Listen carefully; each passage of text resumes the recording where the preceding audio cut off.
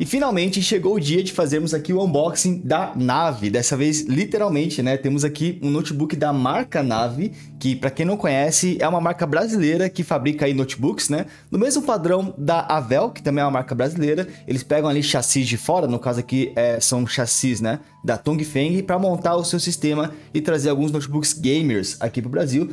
Esse notebook tá muito hypado, muita gente tá perguntando sobre esse cara, né? Nós fizemos um vídeo recentemente conferindo os notebooks da nave. Existe tanto a versão com a RTX 3050 como também a versão com a RTX 3060. E esses notebooks estão chamando muita atenção porque eles estão em preços bem atrativos, tá? Não só na Black Friday, como agora mesmo eu acho que continuam esses preços. Esse notebook que eu comprei hoje, que é a versão que a gente vai fazer o unboxing, é a versão com a RTX 3050, tá? Saindo abaixo de 5 mil reais. E a versão com 3060 tá em torno dos seus 8 mil mil reais. E eu já tinha dado a letra aqui no canal um tempo atrás que eu tinha comprado esse notebook, ele chegou finalmente. Esse aqui é a versão, como eu falei, com a 3050, então é a versão nave lunar, tá? Que tem um i5 12500H e uma 3050, que é exatamente o mesmo conjunto que nós temos nesse cara aqui, né? No Dell G15 de 2022, também com a 3050. O Dell G15 é um pouco mais barato, mas teoricamente o notebook da nave seria um pouco melhor até, uma, uma opção melhor do que o Dell G15, porque aqui nós temos uma tela 100% sRGB, a estrutura dele parece ser de alumínio, a construção parece um pouquinho mais prima, então talvez seja uma opção melhor,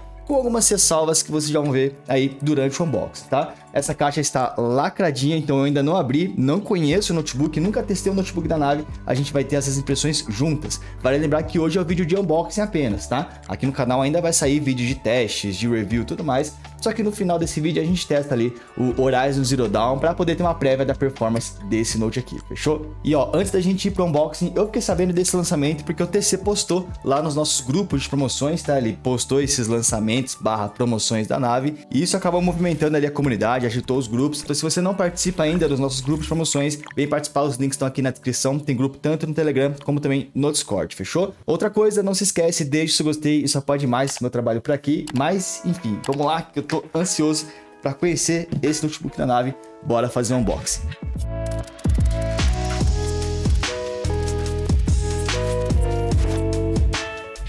E aqui é o seguinte, pessoal, já estamos aqui com a embalagem da nave, tá? É uma embalagem simples, eu só tô estranhando que é uma embalagem mais quadrada do que o normal, né? Normalmente as embalagens são mais compridas pro lado, esse cara tá um pouquinho mais alta, né? Embalagem simples, apesar de ser bonita, com o logo da nave aqui, não tem nada de muito especial, mas vamos abrir, de repente ele tem algum tipo de maletinha dentro, coisa do tipo, né? Eu confesso que eu não vi nenhum vídeo de unboxing desse cara, então eu não faço ideia do que tá por vir.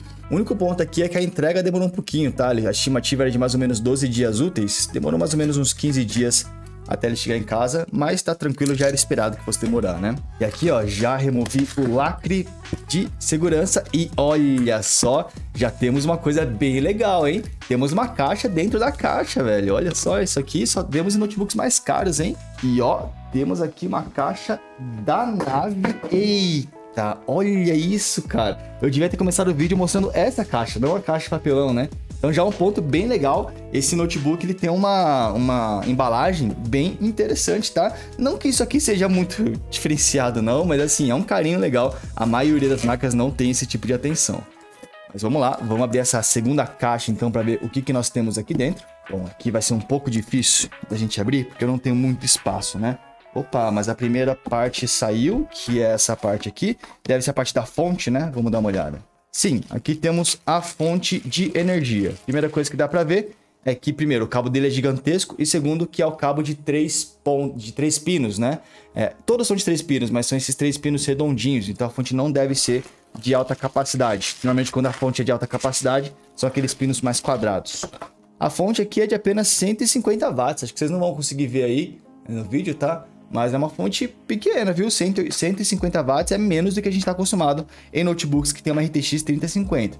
Normalmente, por exemplo, Dell G15, é, acho que até o Asus TUF Gaming, enfim, a maioria dos notebooks possuem fontes de 180 watts para 3050, então vamos ver se esse nave lunar ou ele tem menos performance na 3050, a gente não sabe qual é o TGP dela, ou sei lá, ele está muito otimizado energeticamente. Agora, aqui embaixo nós já temos acesso ao notebook, estou tentando tirar, mas ele tá durinho. Opa, tá vindo aqui, ó.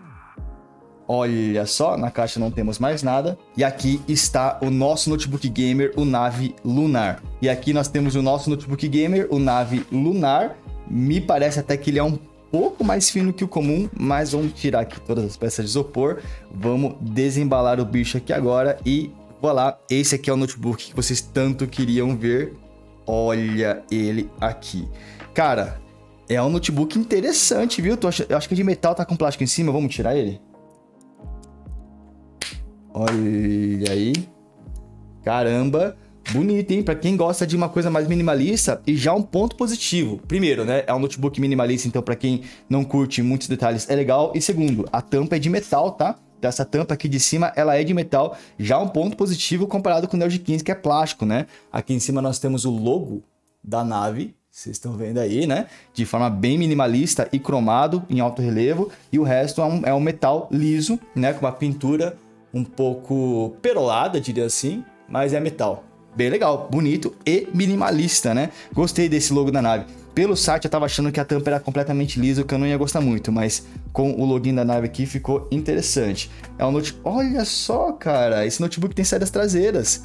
Eu ia falar, um notebook que provavelmente as saídas são laterais, mas não, ele tem algumas saídas traseiras, pelo menos as principais, né? Que seria de energia, o cabo de rede, o HDMI e uma USB-C, que costumam ser as, as entradas que tem cabos mais complicados de deixar na lateral.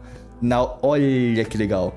Duas portas USBs, 3.2 pelo jeito, e uma entrada para cartão SD. Legal para nós que somos fotógrafos, videomakers, porque o cartão SD é o cartão que a gente utiliza nas câmeras, né? Então a gente pode utilizar esse notebook para passar os, os, arquivos. Do outro lado, mais uma USB e a entrada P2 individual, não é P2 combo. Então é um P2 para fone e outro P2 para microfone, igual é de PC. Caramba, gostei das entradas, viu? Isso aqui é a parte de trás, ó, caso vocês queiram ver. Não sei se tá, tá dando pra ver na câmera, tá? Mas dá pra ver claramente duas ventoinhas aqui, uma de cada lado. Dá pra ver a placa da mãe, a placa mãe aqui embaixo e tudo mais. Tem, infelizmente, já vou começar a criticar, tá? Mas tem um lacre de garantia que você não pode remover, então a notebook você não pode abrir, tá? Quer dizer, você, é, você pode até fazer upgrade nele, mas só na assistência técnica. Se você abrir por conta própria, você perde a garantia. Então, esse é um ponto que a gente já vai bater é, na tecla já já. Mas, cara, assim, voltando no notebook, gostei, hein? Bem minimalista. Ele é um notebook meio pesadinho, não é muito leve, mas ele com certeza é mais leve que o G15, a gente já pesa. O ponto é que eu achei ele mais fino, cara. Quero até pegar a fita métrica, mas ó, vamos ver visualmente primeiro. Cara, dá pra ver claramente que o Nave Lunar ele é mais fino do que o Dell G15, né? Deixa eu pegar a fita métrica pra ter certeza. Não só mais leve, mas é menor também por causa da bundinha. Olha a diferença da bundinha, né? Olhando de aqui de lado, vocês conseguem ver, ó que se a gente colocar os dois na mesma, no mesmo início aqui, o G15 ele tem uma, um, ele sobra bem mais espaço justamente por conta da bundinha, né? Se a gente pegar essa parte traseira para medir, o G15 tem uns 2,5 centímetros e meio mais ou menos e o nave lunar não tem nem 2 centímetros, é 1 centímetro e 75 mais ou menos, então bem mais fino do que o G15. Então, cara, ponto positivo, a construção dele tá me agradando, tá? Por enquanto, somente a tampa de cima é de metal, o aqui embaixo é plástico, tá? As laterais também são de plástico, então por enquanto, a estrutura de metal que estava escrito no site é apenas a tampa de cima, o que já é algo legal para um notebook com uma 3050. Somente o Asus TUF Gaming tinha esse recurso, né? Mas vamos lá, vamos abrir. Primeiro teste, vamos tentar abrir com uma mão só para ver se ele abre.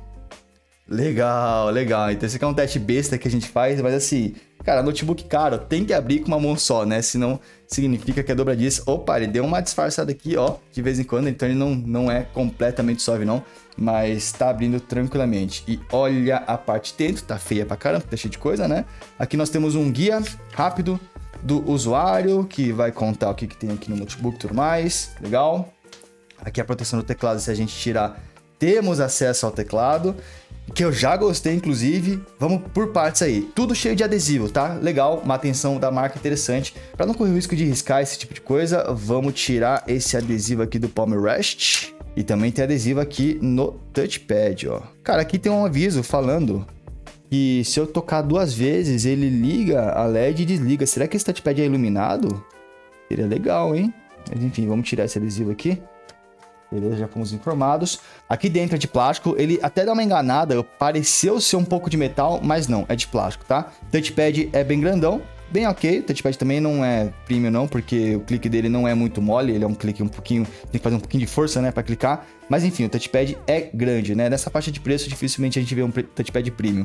Temos aqui o teclado dele, é um teclado já ABNT, então se você olhar, tem C cedilha, tem os acentos, tudo, tudo normal. Só não tem o ponto de interrogação. A gente vê isso acontecendo em alguns notebooks gamers, né? Porque se tivesse ponto de interrogação, esse shift ia ficar muito menor, então alguns não possuem ponto de interrogação. É o caso aqui, mas de resto ele é ABNT com um pad aqui, tudo certinho. Inclusive, parece ser RGB, ou pelo menos retroiluminado, porque as teclas são transparentes embaixo. Ah, outra coisa que dá para notar, ele tem dois botões aqui em cima, que seria o botão de power. Eu gosto quando o botão de power fica separado do teclado, porque se der pau no teclado, você continua ligando o notebook normalmente. E tem o botão de turbo aqui, na lateral. Então tem esses dois botões interessantes separados. Falando sobre a tela, vamos lá, vamos tirar essa película dele aqui para ver como é que é essa tela. Sem ligar ela por enquanto, né? É, apesar de ter vindo com película, ela tá meio suja. Depois eu vou passar um paninho aí, não sei se dá pra ver na câmera, a câmera não tá nem focando direito. Mas, cara, é uma tela fosca, tá? Com acabamento mate, não é o acabamento é, glossy.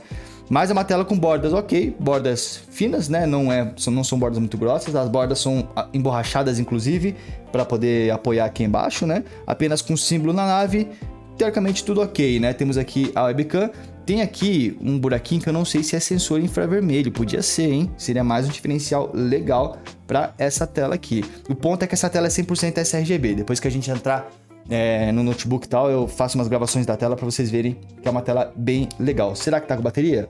Vamos tentar ligar aqui. Aparentemente está, hein? Só que é o seguinte, infelizmente essa tela não dobra mais do que isso. Para vocês não vai ser a melhor coisa porque eu não consigo deitar ela 180. Ó, enquanto vai ligando aqui o notebook, inclusive ele tá com Linux, eu comprei ele, né, na versão mais barata, então ele vem com Linux, 256 GB de SSD e apenas 8 GB de memória RAM e ó, já ligou. Já estamos aqui no Linux que inclusive parece bastante Windows, mas eu quero falar do teclado. O teclado já está ligado e eu consigo inclusive controlar aqui, opa, Tá, eu consigo controlar a iluminação do teclado, só que ela não é muito forte. Deixa eu desligar aqui as LEDs para vocês verem como é que é. Ó, agora vocês conseguem ver como é que é a retroiluminação desse teclado. É uma retroiluminação fraquinha, não é muito forte não. Ela tá fixa na cor azul. A questão é que eu não sei se ela é fixa na cor azul ou se ela está na cor azul, né? Pelo que eu vi no site, cada modelo estava representado com uma cor lá. Eu não sei se foi uma configuração deles que eles fizeram, né? Cada modelo com uma cor e daí dá para mudar via software ou se é fixo. Por enquanto ele está fixo na cor azul. Teremos que entrar no software da nave para ver se dá para mudar isso. Aqui vocês já estão vendo, né, o notebook ligado. E, cara, o notebook ele é bem bonito por dentro também, tá?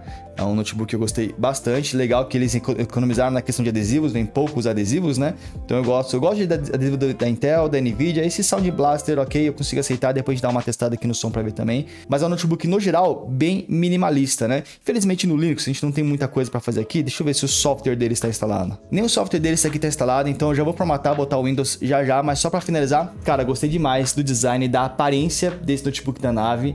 É, eu tava com uma expectativa meio alta, porque o chassi da Tongfeng costuma ser muito bom. Eu esperava que a, a também fosse de metal, mas, cara, só o fato da tampa ser de metal já é superior ao G15, né? E eu gostei. É um, um design bem minimalista para quem vai utilizar esse cara de repente para trabalhar, coisa do tipo. Gostei muito da finura dele. É um notebook muito mais fino do que outros notebooks gamers, né? Apesar de não ser um ultra fino ainda. E o que me surpreendeu bastante foi ter as entradas traseiras, cara. Eu achei que por ser um notebook mais compacto, que não tivesse bundinha, ele não teria saídas traseiras, né? E esse cara tem. Então, cara, parece ser interessante. O problema é o seguinte, normalmente nos vídeos de unboxing a gente desmonta o notebook para conhecer a parte interna, ver as possibilidades de upgrades, só que esse cara tem um selo de garantia que se eu abrir o notebook eu perco a garantia. Então, eu vou abrir para esse vídeo não ficar incompleto, então vamos conhecer a parte interna, ver como é que ele veio configurado de hardware, né?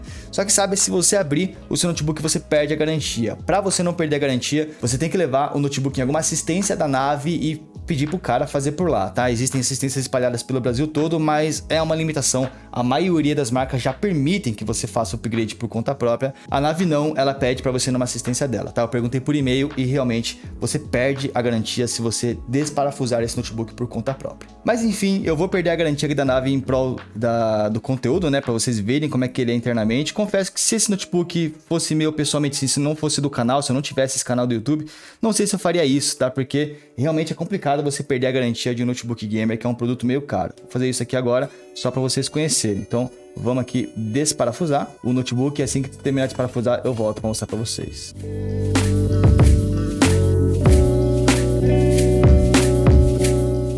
E bom, notebook desse parafusado, um ponto legal é que conforme você vai parafusando, ele já vai abrindo de forma automática, então não é aquele notebook chato de você tirar a carcaça, né? Ele é bem simples aqui, ó, ele quase que não tem travas, ele é só via parafuso. E tá aqui, essa aqui é a parte interna do notebook e ele veio com o um negócio aqui, rapaz. O que, que é isso aqui? Ah, isso aqui é o dissipador do SSD. Mas, cara, agora sim, eu não sei se eu tô sendo cabaço, tá? Mas ele veio com o thermal pad e tem uma fita aqui falando para remover. Será que o engenheiro esqueceu de remover o thermal pad? Porque esse thermal pad tem que fazer contato com o SSD, certo? Para resfriar ele. Só que se vocês olharem aqui, ó, tá escrito para remover. Para o thermal pad ter contato. Então eu acho que quem montou esse notebook esqueceu de remover esse Será que foi isso, cara? Acho que espero que não, velho. Porque Thermalpad, né? A gente já desmontou vários notebooks aqui. O Thermalpad fica em contato com o SSD diretamente. Não pode ter um plástico no meio. Então, tá aí um alerta, talvez. Não sei se era para ter vindo com esse, com esse plastiquinho protegendo, né? Mas enfim, a carcaça já vem, já vem com dissipador aqui pro SSD. E aqui temos acesso à parte interna do nave lunar. De novo, tá? Eu já perdi a garantia só pelo fato de ter tirado aquele adesivo. Mas eu tô fazendo isso por quê? Porque eu comprei a versão com 256 GB e eu confesso que eu não fui muito inteligente, porque por mais 60 reais eu consegui adicionar é, 512 GB de SSD. Então, minha dica, se você for comprar algum notebook da nave, vai lá na aba editar configurações no site e coloca mais SSD. 256 GB é muito pouco e por 60 reais a mais você coloca 512, né? Então seria a minha recomendação para você não ter que abrir. Eu também comprei com apenas 8 GB de RAM então, se a gente pegar aqui a memória RAM que veio no notebook, vocês vão ver não sei se vai dar para ver na câmera, tá? Mas é uma memória RAM de 4 GB, porque ele veio em dual channel, ele é DDR4, né? A versão com 3050, com a 3060 já é DDR5, mas por ser DDR4 tem que ser dual channel para poder funcionar bem, só que são dois pentes de 4 ao invés de dois pentes de 8. Eu vou testar ele original dessa forma, com apenas dois pentes de 4, tá? Para testar, porque foi a forma como ele veio originalmente. Inclusive, vocês estão vendo que a memória ela tem tipo um adesivo aqui para proteger. Mas mais para frente eu vou trocar esses dois pentes de 4 GB, já que a gente já perdeu a garantia de qualquer forma, para colocar dois pentes de 8 fechando 16 GB em dual channel, tá? Aqui já estamos em dual channel, porque estamos utilizando dois pentes ao mesmo tempo, mas ainda com uma quantidade pequena, que é apenas 8 GB, tá? Sobre o SSD, ele vem com o SSD original aqui da nave, 256, já já a gente testa para ver se ele é Gen 4, provavelmente não. E vem com slot livre para um segundo SSD. Então, você tem dois slots para memória RAM, dois slots para SSD aqui. A bateria dele é Parece bem grande, mas não é tanto, tá? É de 62, 62 watts hora, que seria equivalente ao que nós temos no G15. O G15 ele é 56 watts hora, se não me engano. Temos aqui a placa Wi-Fi, a gente já entra no sistema para ver se, é, se ele é AX, coisa do tipo. Sistema de som e o sistema de refrigeração aqui com ventoinhas separadas, né? Inclusive, o sistema de refrigeração aqui parece ser bem interessante. Então, essa aqui é a parte interna desse notebook. Interessante padrão, o que eu gostei é que são dois SSDs um em cima do outro. Normalmente alguma, as marcas colocam um SSD de um lado, outro SSD de outro. Às vezes fica meio confuso na hora de colocar, aqui já temos os dois slots. Inclusive, eu não vou trocar de memória SANS porque eu quero testar esse notebook original, mas não vai mudar nada se a gente colocar um SSD a mais nesse slot, até porque 256 não vai dar para instalar os jogos, né? Eu preciso de mais espaço do que 256 GB. Vamos colocar um SSD aqui da XPG, esse é o S70 Blade. Poderia ser outro, tá? Pode ser um Kingston NV2, que é um dos SSDs que eu mais recomendo de custo-benefício. Só que eu vou colocar o S70 Blade, que é um dos mais caros e mais velozes também, para ver se ele suporta já Gen 4. Probleminha que ele não vem com parafuso, tá? Para prender o segundo SSD. Até porque, teoricamente, se você for colocar um segundo SSD, você vai fazer na assistência da nave, não por conta própria, senão você perde a garantia. Então, deixa eu pegar um parafuso que eu devo ter sobrando por aqui. Beleza, SSD colocado, já mostrei para vocês como é que é a parte interna, já perdi a garantia também. Vamos lá, vamos parafusar de volta agora com o dissipador com o thermal pad colocado de forma correta, né? Dessa vez não estamos ali com o thermal pad com adesivo pedindo para ser removido. Vamos só parafusar de volta e aí é o seguinte, para a gente poder continuar o vídeo depois que eu parafusar, eu vou ter que instalar o Windows, formatar, preparar, atualizar todos os drivers. Inclusive, nessa pausa, vou gravar um segundo vídeo ensinando para vocês como é que vocês preparam o notebook do zero. Vocês podem ver emendado depois desse, inclusive. Mas vou fazer tudo isso, atualizar ele certinho e aí eu volto quando esse nave lunar estiver prontinho para a gente poder entrar dentro dele, testar e ver como é que esse cara se sai em jogos também, tá? Então já volta aí.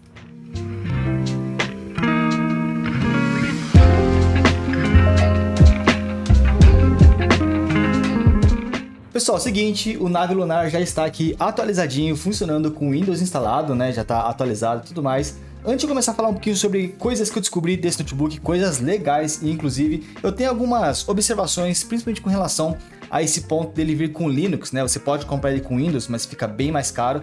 Se você comprar ele com Linux, você vai precisar formatar, certo? Hoje mesmo eu gravei um vídeo mostrando como é que eu fiz para formatar e tudo mais. O problema não é o processo de formatar, e sim o fato de você precisar de algumas coisas, porque na hora que você estiver formatando aqui o Nave Lunar, por algum motivo o driver de rede dele para de funcionar, então você vai precisar ligar ele via cabo no seu roteador para que você consiga baixar os drivers novos, né? Atualizar os drivers e o Wi-Fi volte a funcionar. Outra coisa que ele não funciona enquanto você está formatando, porque ele não está com os drivers instalados, é justamente o touchpad. Então eu recomendo também que se você for formatar esse notebook, separa aí algum mouse para conectar na USB, porque nem rede e nem mouse vão funcionar durante a formatação, mas deu tudo certo, o notebook já está aqui funcionando, tá? É, descobri também, inclusive, que o teclado dele é sim RGB, deve dar para ver que tá meio azulado, num verde, eu troquei a cor dele, né? O teclado RGB, só que precisava do software para mudar a cor, e aí é só dentro do Windows que você conseguiria fazer isso. Outra coisa que eu queria mostrar para vocês, eu vou precisar bloquear aqui o notebook, porque ó, a tela dele está bloqueada nesse momento, só que para eu desbloquear esse notebook, eu descobri que esse cara tem um recurso muito interessante, que é a câmera infravermelho. Eu até comentei no unboxing, né? Que eu achei que seria uma câmera infravermelho e realmente é. Ele desbloqueia o notebook por reconhecimento facial. Se eu pegar aqui e apontar ele aqui pro meu rosto, desbloqueou sem eu precisar digitar nada. Não, deu, não foi muito rápido porque eu acho que estava contra a luz, mas olhando a favor da luz, ele estava desbloqueando muito, muito rápido. Então ele tem reconhecimento facial, um diferencial muito grande, na minha opinião, principalmente se a gente considerar que o seu concorrente direto é o Dell G15, né? Ele já tem aqui a construção de metal, já é mais fino, mais leve e também tem um reconhecimento facial bem interessante. Agora deixa eu conectar o HDMI para mostrar coisas internas desse notebook, né? Mostrar um pouquinho como é que tá o Windows, como é que ele está configurado, o software e tudo mais. E bom, já estamos aqui dentro do Windows com tudo atualizadinho. Por padrão, vamos vir aqui no gerenciador de tarefas né, e olhar é, item por item. Primeiro, processador, estamos aqui no i5 12500H, i5 de 12ª geração. Completinho, não parece estar limitado, a gente já vai ver nos jogos, né? Ele tá, é um processador 1216, então 12 núcleos, 16 threads. Memória RAM, ele vem apenas com 8 GB, como eu falei, só que já são dois pentes de 4 GB cada, totalizando os 8 GB em dual channel, com uma observação, eles estão rodando a 2667 MHz, então 2600 66. Se não me engano, esse processador suportaria ali uns 3200 MHz em DDR4, né? Em DDR5, obviamente, é mais, ele suporta ali 4800 até mais. Só que eu acho que essas memórias escolhidas estão jogando as frequências um pouquinho mais para baixo, mas vamos testar ele original do jeito que veio, tá? O SSD que veio é um Datem DS2000, não conheço essa marca, inclusive Datem parece ser o nome da assistência técnica aqui da da nave, né? Então, mas eu não sei se é alguma marca específica. Eu fiz um teste no Crystal Disk Mark e ele pegou velocidades básicas do Gen 3, então 2000 de leitura, 1000 de gravação. Não que isso seja ruim, mas é que a maioria, ainda mais considerando que já é um i5 de 12 geração, a maioria já está migrando para o Gen 4, pelo menos uns 3.500 de leitura, né, 2.000 de gravação, aqui já estamos no SSD mais básico. De Wi-Fi, estamos aqui naquele padrão, placa Wi-Fi da Intel, o AX201, tem todos os notebooks, Infelizmente, esse notebook não tem Mux Switch, pelo que eu consegui ver aqui. Ele também não tem Advanced Optimus, então não temos como desabilitar a placa de vídeo integrada, a não ser que você utilize, né, algum monitor externo. E ele utiliza a Iris Xi. Infelizmente, gargalando um pouquinho a placa de vídeo principal, provavelmente teremos que testar ainda. E a principal é uma RTX 3050, tá? Aqui tá as informações dela, 3050 que a gente já conhece. Eu separei aqui já o painel de controle da Nvidia para mostrar para vocês uma informação dessa 3050. Primeiro que a gente consegue ver que não tem Advanced Optimus justamente porque ele não aparece aqui, teria ter uma quarta opção para ser Advanced Optimus. Mas o que eu quero mostrar é aqui informações sobre o sistema, porque lembra que eu falei que a fonte desse notebook é meio pequenininha e talvez os, os componentes fossem limitados? Não é, Cara, a placa de vídeo é de 95 watts, é uma placa de vídeo forte, assim como é no Dell G15, é, está entre as placas de vídeo com mais consumo entre as 30 e 50, né? Nitro 5 fica no seu 75, Tough Game F15 também no 75, alguns notebooks ficam nos seus 85 e aqui estamos no 95. Então, interessante, é uma placa de vídeo full power, não é limitada como eu estava suspeitando que fosse, não, é, não foi o caso. E antes da gente entrar agora é, para mostrar o software da, da nave, importante também falar sobre a tela desse notebook, né? Se a gente vir aqui em configurações de exibição, a gente vai ver que é uma tela Full HD e é uma tela de 144 Hz. No site dá a entender que esse cara teria uma tela 100% sRGB, mas não é, tá? Porque eu peguei aqui o HW Info, inclusive muita gente pergunta como é que vocês fazem para saber se uma tela é 100% sRGB e tudo mais. Pessoal, a gente vem aqui no HW Info, a gente vem na aba de monitor, vê qual é o modelo do monitor, que é esse NV156FHM NX3, botão direito, copiar resultado, a gente vem aqui, a gente bota no Google normalmente, né? procure isso no Google, vem no site Panilook, que é um site que compila todas essas informações de painéis e aqui a gente tem algumas informações técnicas, né? É, isso aqui são informações básicas. Claro que o modelo, essa tela pode ter uma variação para cima, para baixo, mas no geral é uma tela de 250 nits e eu tava anotando isso enquanto eu testava, tava achando o brilho um pouquinho baixo, né? Realmente é um brilho baixo. E é uma tela 45% NTSC, ou seja, não é 100% sRGB. Se for converter para sRGB, isso aqui é mais ou menos uns 65% do sRGB convertido, né? Então é uma tela básica, assim como vem nos Nitro 5, assim como vem no próprio Dell G15 também com a RTX 3050, né? É que a gente trocou a tela dele recentemente por uma 100% sRGB e é bem provável que seja possível trocar a tela desse nave, mas ele não vem, tá? Com uma tela boa, vamos falar assim, vem com uma tela básica, né? 144 Hz, contraste básico também, 800 para 1. Então já fica aí uma observação para você, tá? Se você queria vir aqui para esse nave pensando que ele teria uma tela 100% sRGB, a versão com 3050 não é 100% sRGB. Talvez a versão com a 3060 seja, mas essa aqui não é. Mas enfim, acho que é legal agora a gente falar um pouquinho sobre o software da nave, que é um software é, com bastante coisa, inclusive com coisas que eu nunca tinha visto antes em outros notebooks gamers, né? Tá aqui o software deles. Eu confesso que eu demorei quase 3 horas para baixar esse software, porque o site da nave é muito lento para baixar, mas finalmente baixamos aqui. Vamos aqui por partes, né? O banco software está em português, porque a marca é brasileira, dá para configurar em inglês também. Em configurações gerais, você tem uma série de configurações aqui, configurações que normalmente você consegue configurar via BIOS, né? Tipo, ah, você quer que toda vez que o notebook ligue na tomada ele, ele dê o boot sozinho, você quer que seus periféricos continuem carregando mesmo com o notebook desligado, enfim, coisas mais básicas aqui nessa opção. Aqui são configurações do Windows, né? Você pode desabilitar Wi-Fi, desabilitar Bluetooth, desabilitar a webcam, que inclusive é uma webcam bem básica, tá? Aqui, ó, ela é bem da simples mesmo. Opa, tamo junto aí. Então não é uma webcam top, apesar desse cara ter infravermelho, que é um excelente ponto positivo, a webcam é bem simples. E aqui temos a opção do touchpad também. Dá para você desligar o touchpad tanto por aqui como também clicando. O touchpad, se você clicar duas vezes no canto esquerdo superior você consegue desabilitar ele para jogar, por exemplo. Essa função de GPU me deu uma esperança achando que isso aqui seria o Mux Switch, mas não é. Aqui você vai selecionar qual que vai ser a taxa de hertz, né, que você vai jogar e você pode marcar essa opção que ele vai cortar a taxa de hertz automaticamente quando você tirar o notebook da tomada. Isso aqui foi configurações gerais, né? Tem configurações do display que a princípio eu achei que seria legal, mas depois testando achei que não ficou bom não, que é essa opção. A tela agora está original, 45% NTSC. Se você clicar aqui, ele dá uma tunada na tela, deixando as cores muito mais vibrantes, né? Então acho que vocês conseguiram reparar por aqui mesmo, porque na gravação também pega. Se eu desabilito, a tela fica mais normal, se eu habilito, a tela fica mais vibrante. Só que não se engane, tá? Isso aqui não é fidelidade de cor, isso aqui ele só tá aumentando a saturação e contraste. A tela continua sendo 45% NTSC. Ele dá a falsa impressão de que a imagem está mais bonita, mas ela só está mais saturada. As cores não estão mais fiéis não. Então, Talvez seja interessante para você ver um filme, coisa do tipo, mas não é interessante para editar vídeo. Você vai se iludir um pouco com esse efeito. Podemos dizer que é um filtro que ele coloca em cima da imagem, né? Tem aqui o esquema de calibração de cores que, sinceramente, eu não entendi muito bem como é que funciona, né? Esse aqui é tô apenas um dia com esse cara. A parte da RGB do teclado que eu falei que dava para mudar é aqui em configurações de luzes, tá? Primeiro que ele está configurado para nunca apagar e aqui é onde você configura as cores. Só dá para colocar uma cor por vez, não tem efeitos, então é uma cor e fim, mas legal que dá para você mudar a cor desse teclado. Eu tava com medo desse teclado não ser RGB e sim apenas da cor azul, que é o que mostra no site. Mas não, é um teclado RGB sim. Vocês viram, não é um teclado muito forte, mas já é interessante, né? Pelo menos não é uma cor fixa. Aqui em performance temos coisas legais a se comentar. Primeiro que temos aqui o modo de escritório que ele vai entrar num modo mais simples, pouquinho mais voltado para economia. Tem o modo game, que ele vai melhorar um pouco a performance, e tem o modo turbo, onde ele vai colocar a performance no máximo. Você pode alternar isso aqui através do software ou através de um botão, né? No teclado ele tem um botão do lado do power que você consegue clicar e alternar entre os modos sem precisar entrar no software. Dá para você configurar as ventoinhas manualmente.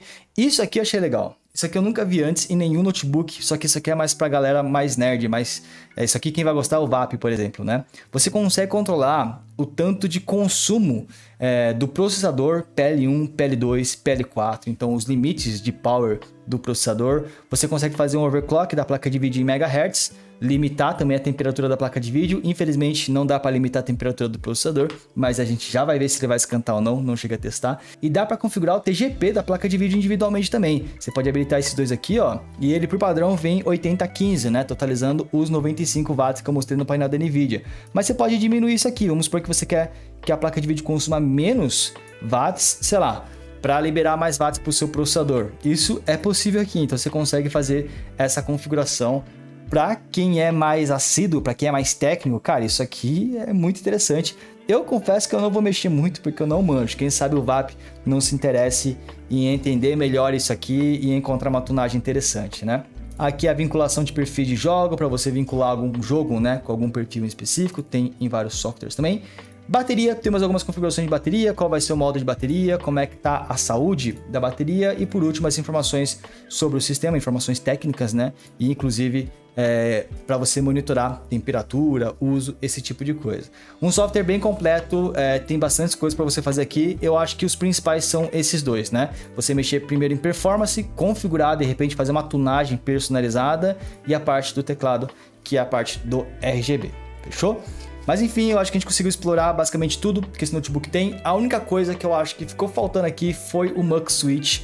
Vai fazer falta, eu acho mas para isso vamos testar. O jogo padrão que a gente faz em unboxing é o Horizon Zero Dawn. Já baixei ele aqui, só para referência, o Dell G15 nas mesmas condições, porque esse cara só tá com 8 GB de RAM, né? Então Dell G15 com 8 GB de RAM pega 54 FPS. Vamos ver quanto que esse cara vai pegar no Horizon Zero Dawn qualidade suprema. Eu vou só utilizar os cogumelinhos, tá? Para deixar esse notebook levemente levantado, para ele conseguir respirar melhor e não esquentar tanto. A princípio, esse notebook está muito interessante, ele só desapontou na tela, que realmente eu esperava que fosse 100% sRGB, e eu confesso que eu esperava um Mux Switch também, mas vamos ver, se a performance dele for boa, cara, eu acho que esse nave aqui tem bastante espaço aí no mercado, viu?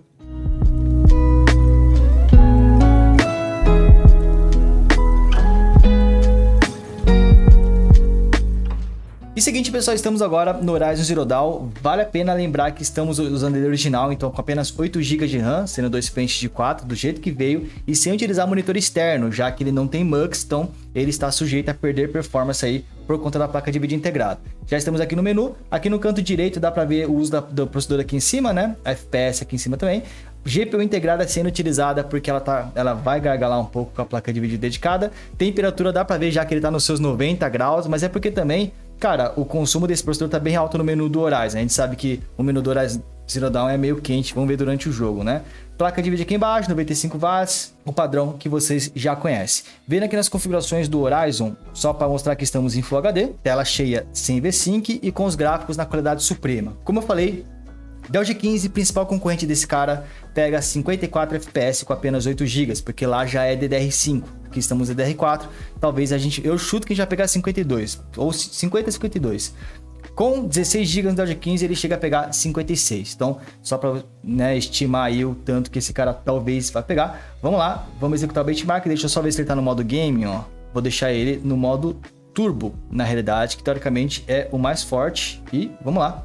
Vamos rodar esse benchmark. Uma coisa que eu já vou falar para vocês que eu tô notando, não sei se está saindo no vídeo porque o microfone tá com alguns filtros, mas o notebook é um pouco barulhento em jogo, tá? Fora de jogo ele não tava fazendo barulho, ele não me incomodou, então ele não, não é aquele notebook barulhento em qualquer situação, mas agora que a gente entrou no jogo, que talvez o processador esteja esquentando um pouquinho mais que o comum, ele tá fazendo barulhinho um pouquinho alto. Vamos ver quanto que tá pegando no menu. Ó, no menu ele tá pegando 54 decibéis, mais ou menos. Não é tão alto não, mas eu acho que em jogo ele vai bater os seus 57, vamos ver. E seguinte, pessoal, já estamos aqui no benchmark do Horizon Zero Dawn. Já dá para notar algumas coisas, tá? Primeiro é que, cara, 8 GB de RAM é pouco. Vocês estão vendo da barrinha azul, que é a última, né? Que a RAM tá esfolada, assim, não tá sobrando nada de memória RAM. Placa de vídeo também está sendo é, exigida ao máximo. E processador, cara, dá para ver a temperatura sempre ali no amarelinho, né? O notebook ele tá, ele não tá extremamente quente não, 90 graus é meio que estamos acostumados, né? Mas ele também não está gelado. É um notebook para você ficar de olho aí na temperatura. Ele fica muito tempo ali no, no amarelo e eu configurei para ficar amarelo a partir de 90 graus, né? Sofrer, não sei se você, vocês viram aí alguns stutterings, ou seja, algumas travadinhas acontecendo. Eu desconfio que isso seja falta de memória RAM, tá? A gente sabe que 8 GB de RAM hoje em dia é pouco. Se você puder pegar esse notebook já com 16 GB, eu acho que vai ser interessante. Estou testando ele original, mas assim que a gente for fazer o vídeo de testes dele, realmente a gente vai colocar provavelmente 16 GB, porque 8 GB causa esses stutters aí. E ó, se a gente pegar aqui a média de FPS tá mostrando pra gente, tá ali nos seus 60, 58, eu acho que talvez ele consiga ficar no mesmo nível de performance que o Dell G15 pegou também, viu? O único problema é que eu acho que esse cara tá escantando um pouco mais. Tá um pouco mais esquentadinho ali na média dos seus 90 graus. Agora vamos esperar até o final que ele mostra a média que ele vai pegar no final das contas. Uma observação que eu estou notando aqui é que o consumo da placa de vídeo está ali nos seus 60 watts, 70 watts mais ou menos, né? Sendo que ele poderia pegar até 95 watts. Será que se a gente mexer naquelas configurações do menu lá da, do TGP da placa de vídeo, forçar ele a ficar 80 watts, será que a gente ganha algum tipo de performance? Acho que é um teste legal para a gente fazer. A gente, vamos retestar já já, mexendo um pouquinho naquelas configurações de TGP. Não sei se é muito recomendado, porque ele já dá um aviso ali, né, que aquelas configurações podem causar instabilidades, mas assim que terminar esse, vamos, vamos fazer esse teste também. Seguinte, chegamos no final do benchmark, vamos lá. Quanto de Magic será que a gente vai pegar? Olha lá, cara! 56 FPS de média. Calma lá, antes de você animar, lembra que o Dell G15 pegou 54 com 8 GB, mas gravando a tela, tá? Se bem que eu tô gravando agora também. Então, realmente pegou mais do que o Dell G15. Se pegar eles nas mesmas circunstâncias, ou seja, ambos com 8 GB, pegamos mais FPS do que o Dell G15 então eu fico na dúvida se a gente colocar 16 GB ao invés de 8 GB, eu acho que a gente também pode ganhar de repente ali do Dell G15 com 16 GB. Então, cara, de performance, pelo menos nesse jogo, Horizon Zero Dawn, que é que a gente usa aqui no unboxing, né? A gente precisa testar mais jogos para poder tirar uma conclusão. Mas ele tá muito bom de performance. Então, muita gente tinha dúvida, pô, será que esse nave é capado, é limitado de alguma forma? Parece que não. Tanto de processador quanto de placa de vídeo, o Horizon usa muito bem os dois, né? Ele conseguiu dar a sua máxima aqui, pegando performance melhor até do que o Dell G15 nas mesmas condições. Lembrando que esse cara tá até numa tela interna. Se passa a gente colocar numa tela externa, a gente consegue mais performance ainda, mas aí fica para outro vídeo. Vamos tentar agora vir aqui no software e fazer aquilo que eu falei de tentar forçar a placa de vídeo a ficar com 80 watts de base e o reforço de 15 watts, totalizando 95 watts. Vamos ver se dessa forma a gente consegue priorizar mais a placa de vídeo e tirar um pouco da prioridade no processador até para tentar diminuir a temperatura dele. Uma dica, inclusive, se você achar que o processador está esquentando muito e tiver fim de mexer com isso, talvez você perca performance, você pode diminuir o power do processador, dando menos energia para ele, ele vai ter menos performance, mas talvez esquente menos, tá? Vamos fazer um pequeno teste, deixar dessa forma aqui e vamos lá, novamente entrar no Horizon Zero Dawn. E pessoal, seguinte, já estamos aqui no Horizon, dessa vez eu vou medir o barulho que eu tinha esquecido, mas dá para notar que deu certo aquela nossa configuração de power. Olha o consumo da placa de vídeo, agora tá fixo nos seus 80 watts. Ele não tá subindo para 95, né? Provavelmente porque o processador não tá folgando o suficiente para isso, mas a gente conseguiu colocar mais watts na placa de vídeo. Então interessante que dá para mexer com isso, né? Não sei se isso vai ocasionar em mais FPS, ou talvez até em menos FPS, porque se a gente coloca mais consumo da placa de vídeo, talvez a gente tire um pouco do processador, né? E vamos ver temperatura também, porque se a gente colocar mais consumo, mais watts na placa de vídeo, teoricamente ela iria esquentar um pouco mais. Se bem que ela tá tranquila, 77 graus placa de vídeo tá de boa. Quem tá esquentando menos mesmo aí é o processador. Também não é um esquentando demais, não. Ele só tá mais ou menos nos seus 90 graus. Eu gostaria que ele ficasse um pouquinho menos, né? Deixa eu medir agora o barulho durante o jogo. É, pegou seus 55 decibéis durante o jogo. Não é um barulho muito alto, não. É um barulho bem tranquilo, tá? Também não, não tá entre os mais baixos. Os mais baixos ficam ali nos seus 51. Já teve notebook que pegou 48 decibéis. Mas 55 tá bem de boa, bem aceitável. Agora a gente tem que esperar chegar no final do benchmark, mas me parece que ele ficou mais tempo acima dos 60, hein? Eu chuto que a gente vai conseguir pegar 60 FPS de média, será? Que a gente consegue tudo isso. Ó, já dá para ver que o consumo da placa de vídeo nesse momento, nesse trecho aqui, já tá bem maior, tá no 85 watts, mas a temperatura da placa de vídeo tá subindo aos pouquinhos também, ó, já tá 82 graus, o limite dela é 87, né? Então, se ele chegar nos seus 85 graus, tem que já começar a ficar meio preocupado. Enquanto ficar em 82, tá até que tranquilo. E bom, chegamos aqui no final do benchmark. Vamos ver se pelo fato da gente ter forçado um TGP maior, a gente conseguiu uma performance maior. E olha, não sei se foi margem de erro, porque 2 FPS também não é grandes coisas, né? Mas pegamos agora 58 FPS. Podemos dizer que esse nave lunar com apenas 8 GB foi melhor do que o Dell G15 com 16 GB. Dá para se dizer isso, né? Nessas condições onde a gente aumentou o TGP da placa de vídeo. Então, cara, bem empolgante aí, principalmente por ter esse recurso de aumentar o TGP. Cara, isso abre muitas possibilidades da gente explorar aqui no canal, fazer um vídeo com diversas tunagens diferentes, né? Uma live inteira abordando isso. Então, bem esperançoso. Infelizmente hoje eu vou ficar por aqui, eu não vou testar mais jogos, né? Tô curioso para testar um CS, um Rainbow Six, jogos que também são pesados para o processador, mas aqui no canal a gente vai fazer vídeos de teste, então não se esquece de se inscrever para poder acompanhar, tá? Deixa eu agora só sair do jogo para a gente poder finalizar esse vídeo. Vou até aproveitar que a gente terminou aqui. Vamos ver se ele fica muito... É, cara, aqui embaixo, se você encostar aqui embaixo, fica bem quente. Eu tava imaginando isso porque eu tava achando essa parte de baixo muito molenga, tá? E uma hora eu fui pegar o notebook, ele até fez um barulhinho aqui nessa parte de plástico de baixo. E ele dá exatamente na parte de dissipação. Então, depois que você joga, se você encostar a tua mão aqui, tá pelando essa parte de baixo. Então, um pequeno ponto de atenção. Aqui em cima, fica um pouco quente também. Todo o teclado fica um pouco quente, mas nada que seja impossível de se utilizar, só não é tão agradável.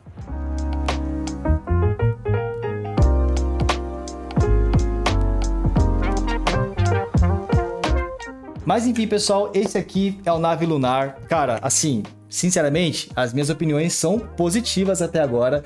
Tivemos aí algumas decepções, acho que são duas decepções principais. Primeiro é a tela, eu tava com muita expectativa em cima da tela. No site acho que dizia que era uma tela 100% sRGB, então não se iluda com isso, é uma tela 45% NTSC apenas. O diferencial dele não tá na tela e ele também não tem Mux Switch, duas coisas que eu acho que fariam esse notebook ser muito melhor. Mas ele tem alguns pontos que o Dodge 15 não possui, Vamos ignorar um pouquinho a performance porque a gente tem que testar mais, precisa explorar mais essa questão, né? Mas começa com a construção, ele tem aqui uma tampa de metal, Dell G15 não tem isso, o único que tem seria o Tough Gaming F15, né?